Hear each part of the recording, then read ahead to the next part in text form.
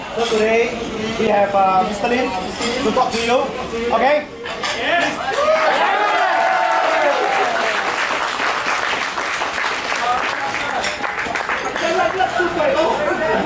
Thank you very much. I want to welcome everyone.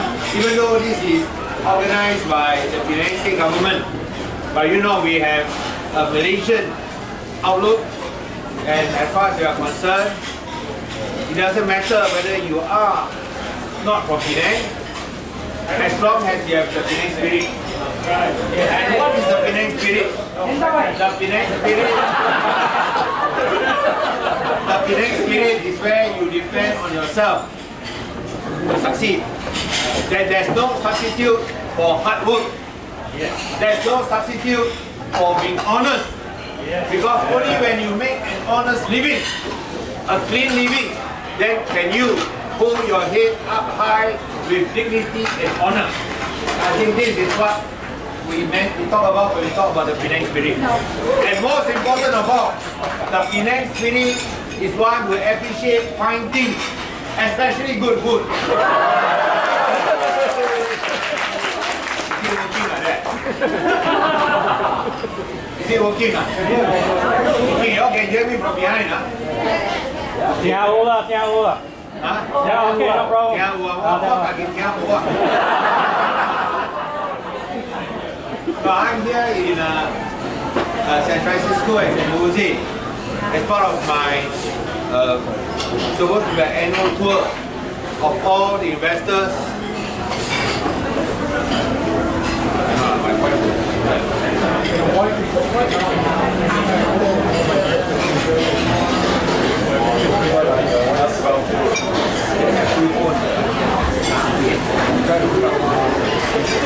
No, I, I, I would need a speaker system because I've got a whole series of ceramahs when I go back home. So if I shout too loud and my voice breaks, uh, I'm in big trouble when I go back. So I hope you understand. I don't want to overstrain my voice. Um, as I was saying that this is part of my annual trip, annual tour to all the investors, to all the companies who make Penang one of the top location of choice for investment. And last year we had a very good investment number. Uh, compared to 2013, our investment numbers jumped by more than 100%. 3.9 million to 8.2 million. CIT sector, as well as the Bioscience and Medical Devices Company. So we have to go and pay our respects. Lah. Pay homage. Uh, Chinese will say, Xiao Wun Pai Xin. So, Xiao Yu Xin. So it's more to pay our respects to thank them for coming to Penang, as well as to forge a closer relationship with this company. At the same time, I spent some time in San Francisco because I want to visit some of the internet startups because we want to do our first accelerator program in Penang. And the 1st of October, we will be opening Penang's first accelerator program called Accelerator CAT. CAT stands for stands for what? You all know not? Cat. CAT stands for what? I you all know that lah. Competency, accountability, and transparency. Oh, that one. But then we don't use that word lah. Accelerator, how we talk about competency, accountability, and transparency. It's about creativity, analytics, and technology. Accelerator with analytics, uh, uh, creativity, analytics, and technology. This will be the first for Penang. Uh, we are, I know we are not going to be like San Francisco, rep- replicate their success, but we want to build an ecosystem. Uh, we believe that there needs multiple ecosystems for us to create synergy. And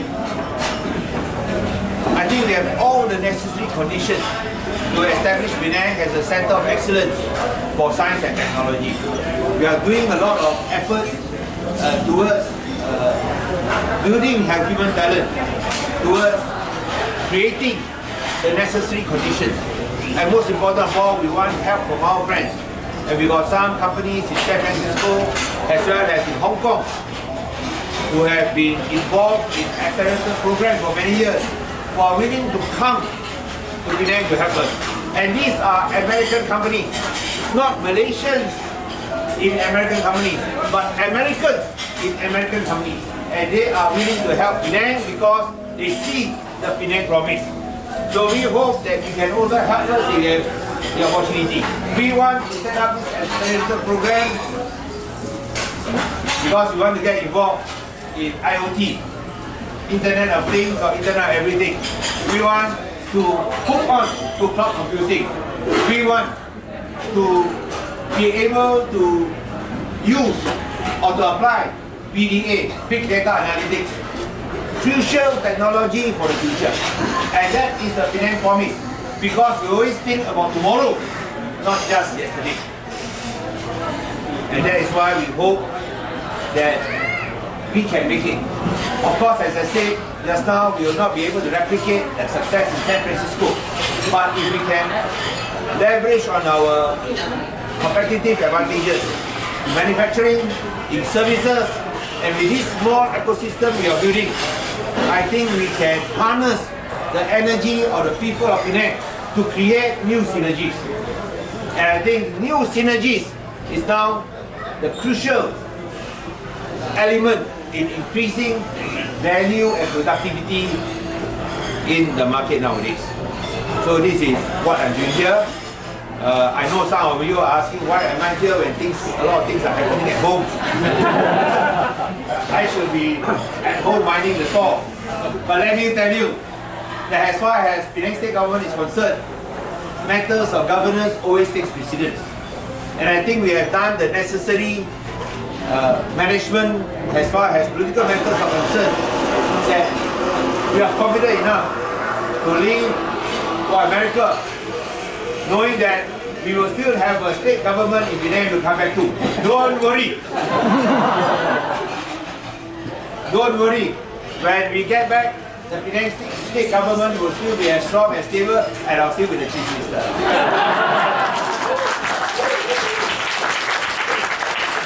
Because the Penang state government is built not on personalities, but built on policies, built on institutions. That is the foundation. It doesn't matter whether I eat Penang or not. What matters is the institutions that we established over the last several years continues. Institutions of, of good governance, clean leadership, and most important of all, performance oriented. Because we serve the people. We want to show that in Malaysia, you can have a clean government, and a clean government can outperform a corrupt and dirty government anytime. I think we have proven that for the last seven years. We have budget surpluses every year. We have increased our assets by more than 50%. And most important of all, we have reduced our debt not by 10%, not by 30%, but by 90%. We still owe our debtors 50 million. Uh. I can settle it today or tomorrow because our reserves is 1.2 billion. Than enough money. The whole assets of Penang is around 8 billion ringgit. We have tripled that number since we took over. But I'm not going to settle the 8, 50 million ringgit there. You may ask why? Why not? Better not. Why better not? How to ask money from the federal government if you don't have that?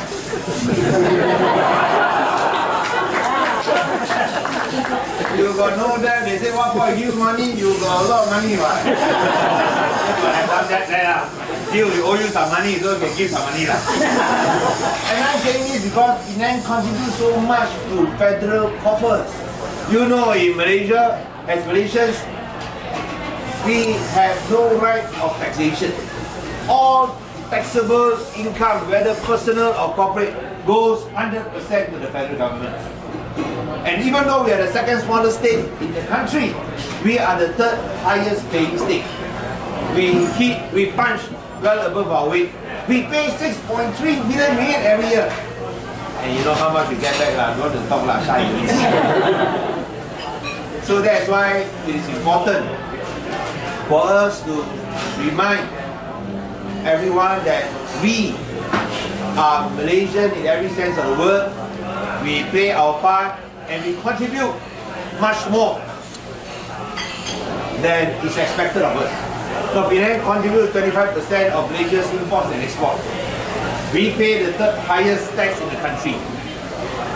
And of course, without Penang, I think manufacturing, especially the E&E, there will be no uh, Silicon Valley, so to say, in South Asia. In many respects, I think we are becoming to be the next, or perhaps already becoming the Silicon Valley in South Asia.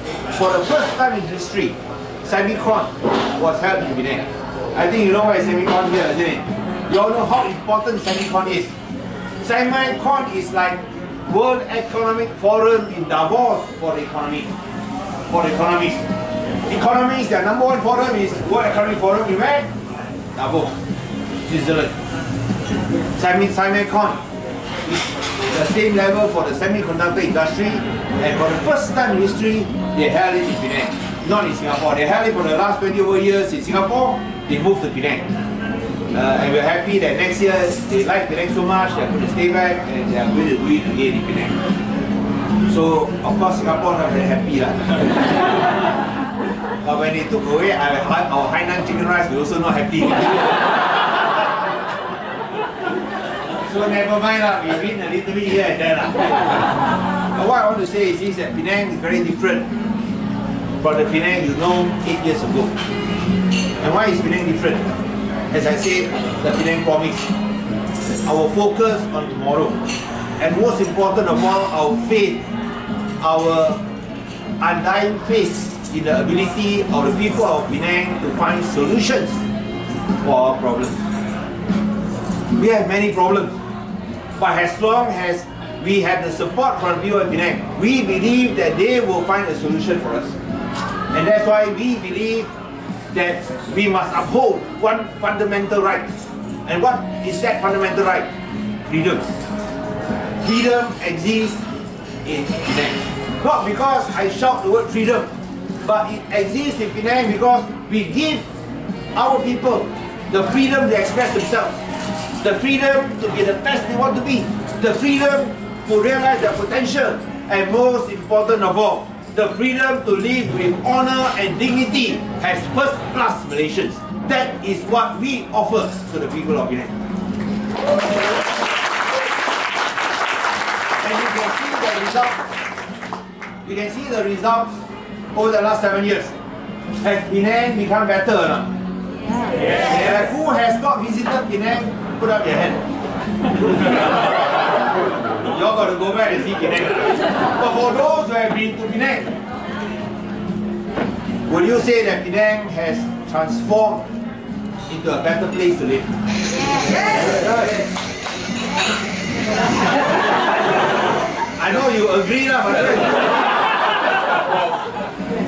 is Penang cleaner? Yes. Don't just humor me lah. Don't just oblige me.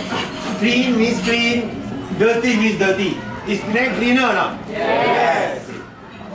No, Penang was one time so dirty that the former Prime Minister Tun Mahathir called Penang the rubbish state. Pulau Pinang Darul Sampah. You remember? Remember? No hope for Penang to be clean. It's the dirty state, dirtiest state in Malaysia. When we first took over, we said, can we change that? People tell us cannot. I say never mind, let us try.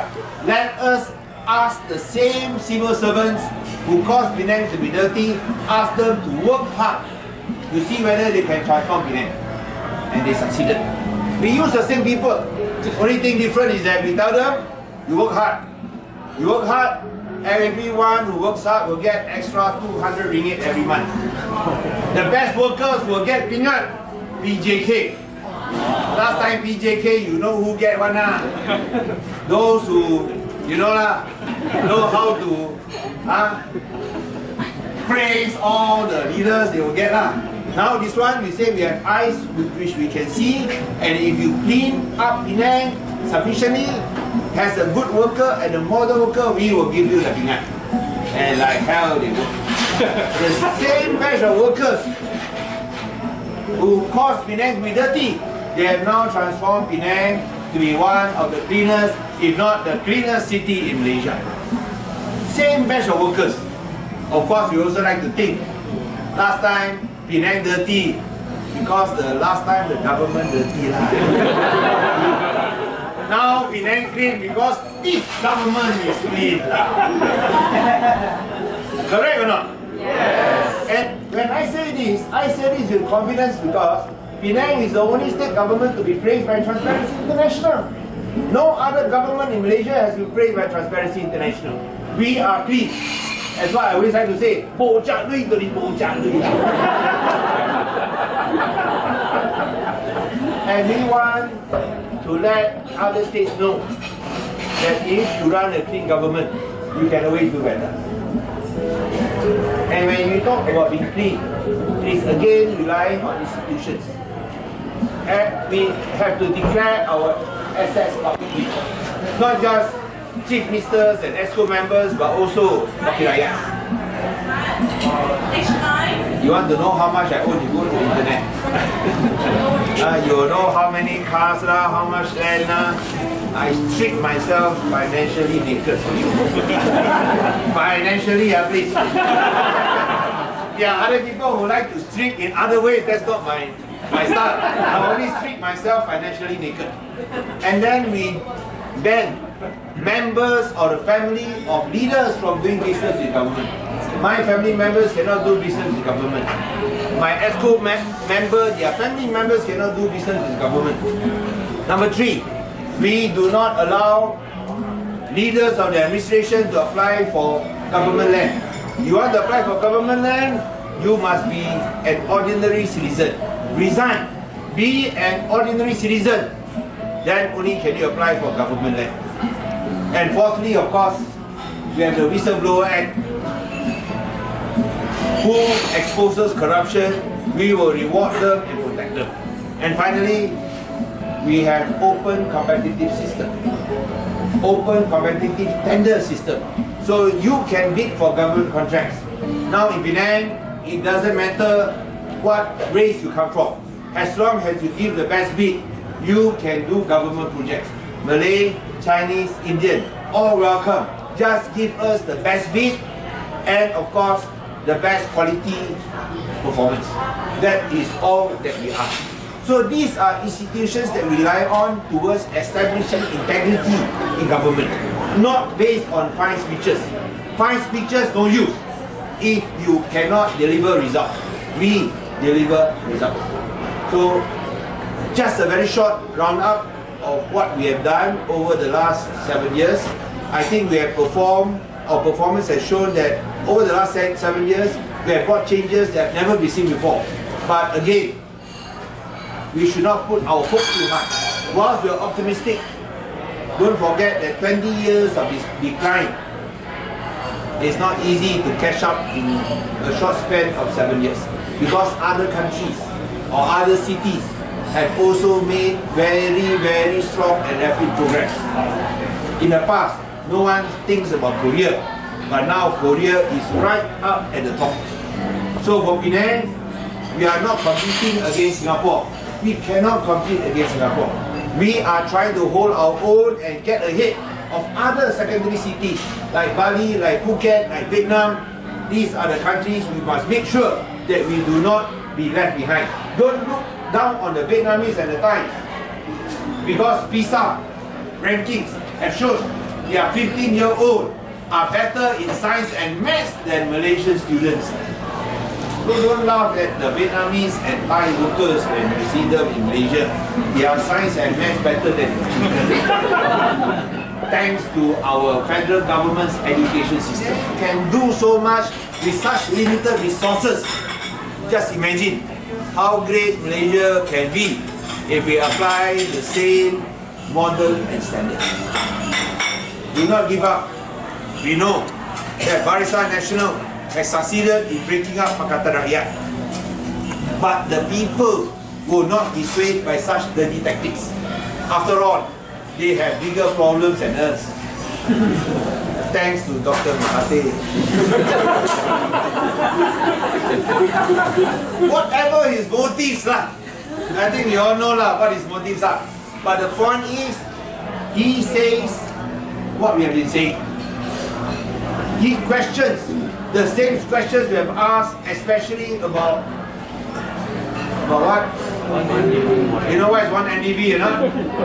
What is one MDB? What's one MDB? ATM. Huh? ATM. ATM? Money, money. Piggy bank? What does MDB stands for? What does one MDB stands for? Huh? One Malaysia develop berhad, ah, no wrong. Satu Malaysia dalam bahaya. now why I say satu Malaysia dalam bahaya? Look at our stock market. Last year we had 6% economic growth. Our stock market went down by 5.7%. Thailand stock market, despite economic growth of only 1%, their stock market went up by 15.7%. What is the reason? You have 6% economic growth, but your stock market drops. Other countries have miserly economic growth, but their stock market go up. What is the reason? The reason is, again, one hand. Look at our ringgit. Sorry, I come here 380. oh." no lah, of course the bank only, but you go to the money changer, you see, they have to change for you. Luckily, you know the money changer, they change for us. oh. 380 oh. And then only because if you need to change with us. Wow, I, I thought also I sweat. But it's not only the it's not only the US dollar. Look at the Singapore dollar. 220 to 280 now. 220 oh you don't know ah 280 ah. Malaysia boleh mah. 220 to 280. How to go to Singapore nowadays? Okay lah, don't go to Singapore, go to Thailand lah. ah, you know how much Thailand is now? Last time 950 oh, 95 baht oh. Now how much? Now how much? How much? How much? Oh, No idea. no idea. Anybody knows or not? They don't dare to declare. How come nobody go to Thailand much? Okay lah, okay lah. I know you all don't go to Thailand lah. now around 85 to 87, 95 to 85, 87. You cannot go anywhere else in the world. Your ringgit has become smaller and smaller. Now why again? Despite the 6% economic growth, why is this happening? Again, one MDB. Now this is bringing down the country, this is bringing down the economy, and all the Prime Minister is doing is suing Tony Pua, suing opposition leaders for exposing one MDB. And when I was here, I read about another scandal. Mara scandal. Go and view student hostels, mark up the price. Somebody earns 4.5 million Aussie dollars. How much is 4.5 million Aussie dollars? Now with the exchange rate 303 by what? Maybe around 13, 14, 15 million. That is the scandal. Mara, what Peter Sumo Mara. And what is the explanation? Oh, give me one week to investigate. This is internet era. You can just click a button, you can have all the answers. They say, give us one more week. Hopefully, not one more week to cover up the scandal. So this is the unfortunate series of events that's pulling our economy down. And we feel that the people are fed up. The people are fed up of Barisan nationalism. The people are fed up that they have to suffer because of their failures. They are unable to balance the book. You know, unlike Penang, they have deficit every year. I speak enough already. because you all ask questions, isn't it? Yes or no? Yes. So I'll just stop here. Hope that despite the big picture of extensive corruption in Malaysia, do not lose hope. There are still beacons of hope like Penang. A success story like Penang. Don't believe me? Come and see for yourself in Penang. Okay or not? Yes. You all believe me or not? Yes. Say no a bit lah. then I can tell you come to Penang lah. Come and see for yourself what we have done. And I think that we have actually implemented policies that united the people of Penang. Whether Malays, Chinese or Indians. bear in mind that in the last general elections, we obtained the highest mandate in Penang's history. We got 68% of the popular vote. And we cannot get 68% unless there is support from Malay community also. Ah, if you don't believe, ask, go to Penang and ask the people whether Malay, Chinese, or Indian. But don't go and ask the UMNO fella lah. don't go and ask the fella who get 50 ringgit for UMNO just to go and demonstrate, demonstrate. You know when I was here, they demonstrated in my office. How many people demonstrated? Organized by UMNO Penang. How many people demonstrated? 50. UMNO do demonstration, only 50 turn up. Just like DAP demonstration when you're in opposition like that. That is the support that UMNO has nowadays. And why? Because I believe at the end of the day, the people will support any government that delivers. It is not a question of race. It's always a question of performance. The Rakyat wants to live a better life. They want their children to live better than they. They want their children to have a better future. Just as you want a better future. And that's why we are here. Now we want to fight for a better future. So that we hope that you can one day come back home or even if you don't, you can be proud that you have contributed towards a better future, both for Penang as well as for Malaysia. Can y'all do that? Yes. Can y'all do that not? Yes. How you do it? some say, some say you do it by vote lah, one thing yes lah. One thing, give money, give donations also okay. But I think more important than voting and giving financial contributions, we want you to participate. We want you to be our warriors for democracy and integrity. Pass the message around. Say there's still hope for Malaysia because Penang has shown the way. Can we do that? Yes. Thank you very much.